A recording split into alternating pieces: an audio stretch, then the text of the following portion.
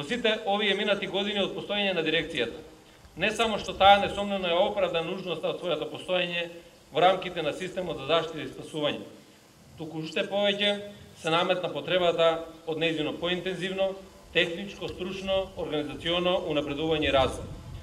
Тоа е наша заедничка обврска и одговорност на владата на Република Македонија и на Дирекцијата за заштита и спасување.